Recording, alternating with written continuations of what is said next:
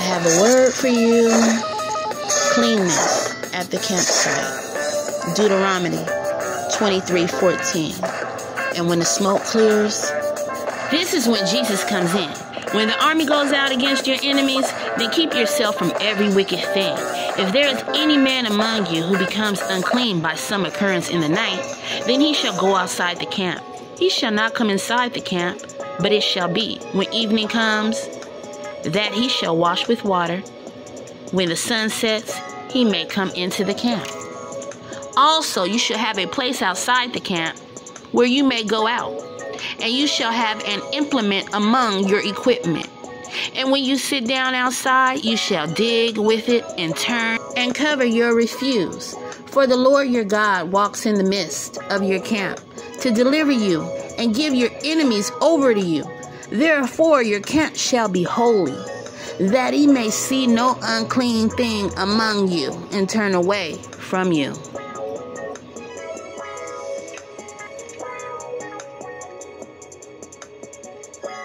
Whose camp do you reside in?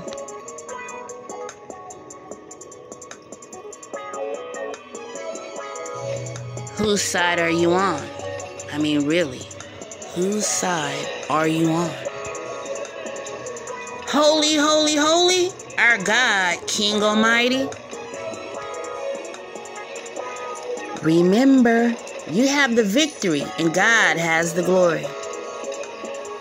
Call upon Jesus. Jesus can get you out. The name of the Lord is our strong tower. The righteous run to it and are safe.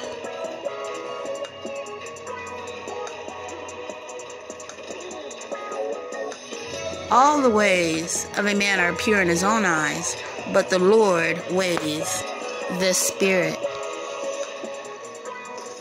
When a man's ways please the Lord, he makes even his enemies to be at peace with him.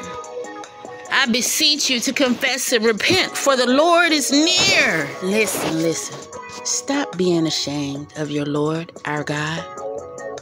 You keep being ashamed of him, he will shame you for surely.